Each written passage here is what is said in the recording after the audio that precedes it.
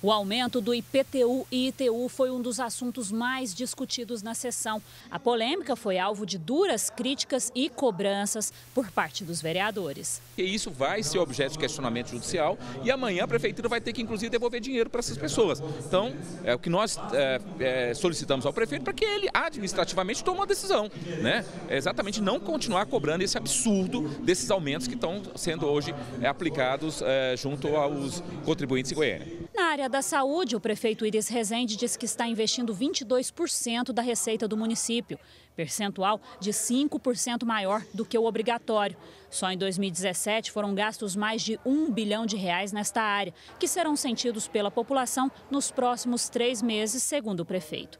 A vereadora Cristina Lopes faz parte da comissão especial de inquérito e pediu uma reunião junto a Iris Rezende. Segundo ela, de 2010 até hoje, só acumulam as denúncias de graves irregularidades na saúde. O que está acontecendo, como ele disse, é que havia uma máfia que operava o sistema de check-in, provavelmente essa máfia continua operando.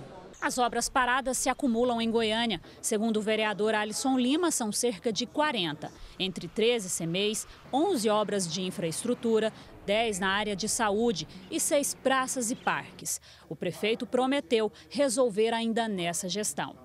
A folha de pagamento dos funcionários públicos ainda é a despesa mais significativa da Prefeitura, equivalente em 2017 a 46,7%.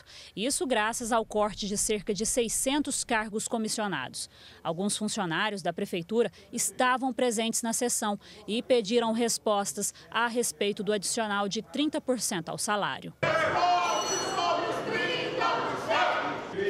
Assunto abordado foi em relação à dívida da Prefeitura de Goiânia. O prefeito Iris Rezende disse que quando assumiu essa gestão, a dívida estava em 600 milhões de reais e agora ela diminuiu para 380 milhões. Por isso, o plano de ação para aumentar a receita e diminuir as despesas continua para 2018. Eu tenho trabalhado dia e noite com responsabilidade, com espírito público e com amor a essa cidade. E Goiânia não vai demorar muito, vai se sentir orgulhosa de si mesma. O prefeito disse que a prefeitura estará trabalhando para rever alguns casos em relação aos mais de 150 mil imóveis que tiveram o IPTU reajustado por causa da construção de áreas conhecidas como puxadinhos. O contribuinte que sentir que houve um erro eu já determinei a Secretaria de Finanças deixar uma equipe competente dia e noite, sábado e domingo, para atender as pessoas que porventura sintam que a Prefeitura errou no, no novo lançamento.